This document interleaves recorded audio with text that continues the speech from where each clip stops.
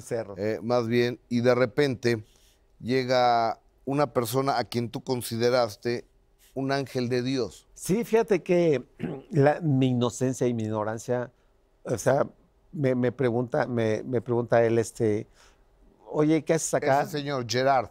Un tú fulano, sí. Este, entonces ¿Ni agarra. el nombre quieres mencionar? No, Ok. no, no, no. El Este, fulano este. Sí se le puede nombrar, sí se le puede nombrar. Yo prefiero ignorarlo, este, ignorar todo eso, porque para mí fue alguien, alguien. A ver, yo le, le quiero adelantar a la gente, la crónica que ustedes van a escuchar a partir de este momento es algo muy fuerte. Yo lo he platicado con Mitzi a título personal y sí tengo que advertir que van a ser cosas atroces. Lo que un niño de 14 años vivió a manos de un verdugo, de un depredador, de un abusivo.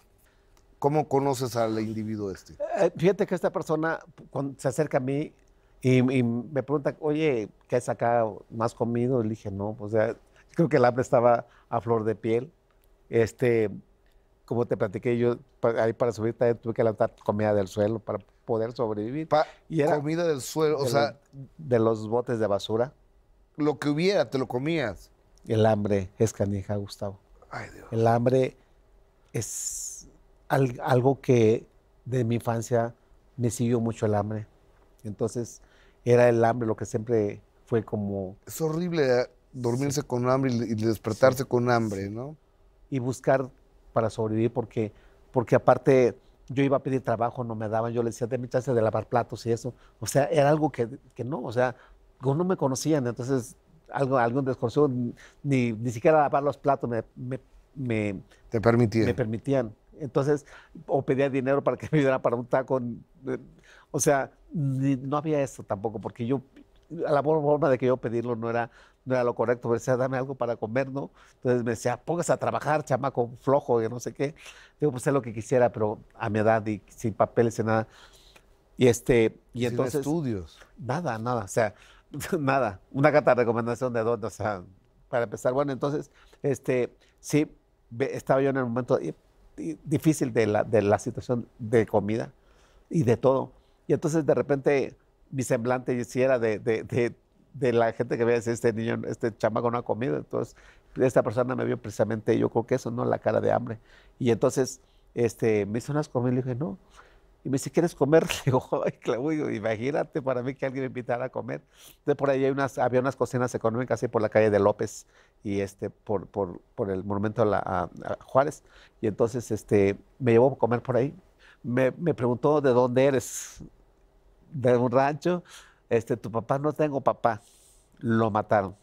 O sea, que no te, o sea, imagínate mis- lo que yo estaba diciendo, ¿no? O, o sea, eh, eh, este maldito depredador empezó a darse cuenta Sí, que eras la víctima sí. perfecta. Sí, le estaba que no dando- tenías quien te le defendiera. Estaba todas que no las- tenías ah, quien te Le estaba, diciendo, respaldara. le estaba diciendo, mira, Gustavo, le estaba diciendo, mira, no tengo padre, no tengo nada, haz de mí lo que quieras prácticamente.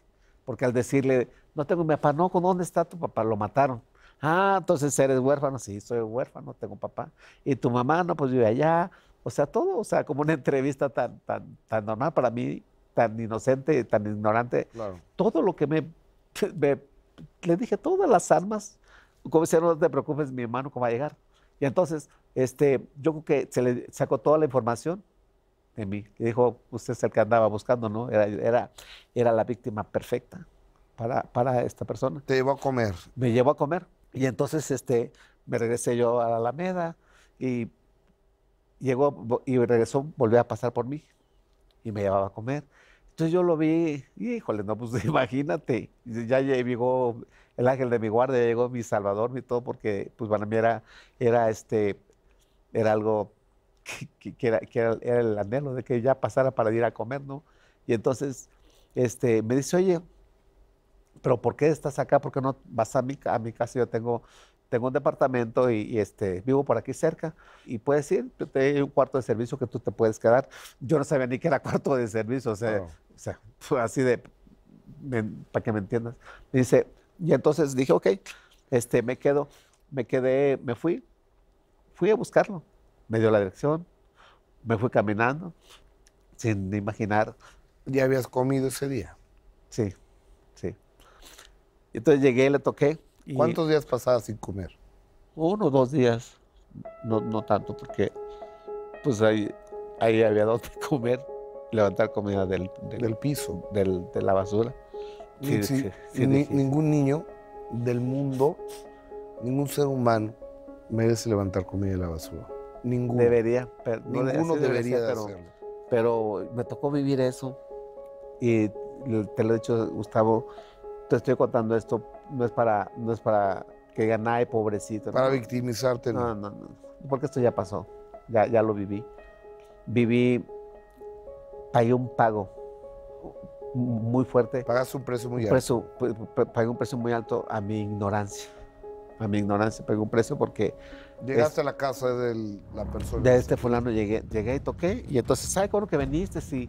Y entonces este, me, me quedé en el cuarto de servicio y, uh, no olvídate, para mí fue, imagínate, estar en, estar en un penthouse. o Un sea, hotel de cinco estrellas. no, claro. hombre, o sea, algo, algo nunca visto para mí, porque era, imagínate, iba a dormir en algo, en un colchón suave y tú, no, no, olvídate. Y entonces, este, hay tantas cosas que dices tú, hay sábanas, entonces digo, pues imagínate para mí que dormir por primera vez en unas sábanas, ¿no? Era otra, otra, Claro, nunca habías dormido en una otra- sábana. Otra pues. historia. Era otro rollo. O sea, se- digo, no, o sea, imagínate donde dormía, donde estaba, de repente atender un cuarto. pues Era, no, cinco estrellas eran pocas. Y faltaban estrellas para ponerle. Y entonces, de verdad te lo digo. Y entonces, este, eh, me, me traía el pelo muy largo. O sea, era aparte de la época de los hippies, el pelo largo, pero ahí estaba largo también porque ya te- ya tenía ocho meses, este, más o menos, este, de vivir, de vivir en, en- en- en- en En la calle. Y entonces, pues obvio que el pelo estaba largo. Y entonces me, me, me llevó a, una estética, Una peluquería. una peluquería, cortarme el cabello y, y me compró ropa. Oh, no, pues imagínate, Gustavo, eh, no estaba, dije, no creo que soy tan peor, porque ya peinadito y arregladito. Y los zapatos. Y Ya no. sí, sí. No, pues me agarró, me vistió y, y- y bien, porque aparte hasta dije yo, órale. O sea, ya el cortecito que me hicieron sí estaba pues, ya, ya más en otro rollo. Entonces, yo decía, este es lo que es un ángel. Este es alguien que Dios me lo mandó. Y yo le decía gracias a Dios porque me mandó una persona este, para ayudarme, para levantarme. Alguien que me diera de comer, alguien que, que alguien. Pero me duró muy poco ¿Cuánto te duró ese sueño? poco. No, no te puedes imaginar. Días. Días, días, no, no, no. Estoy hablando de días. Entonces, un día se levantó, se levantó él así, se levanta, se levanta como él- realmente lo que él era, o sea, quién era él. Entonces, de repente se levantó de mal humor y, y me dice a mí, abre la, le- la leche, la, la leche, ¿sabes cómo se abren las leches? Es como las leches de...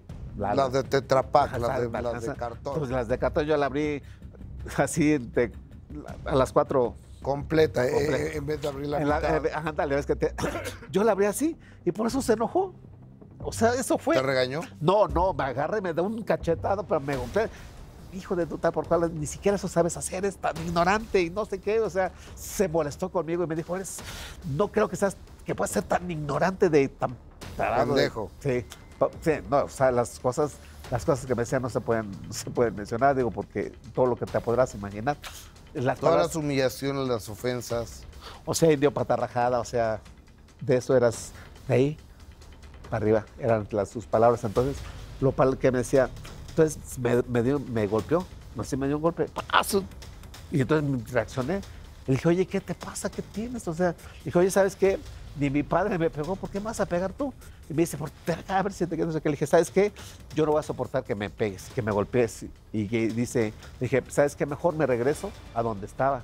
Estaba mejor allá, porque allá siquiera no hay nadie me pegaba. El minuto que cambió mi destino. Sábados 9 pm.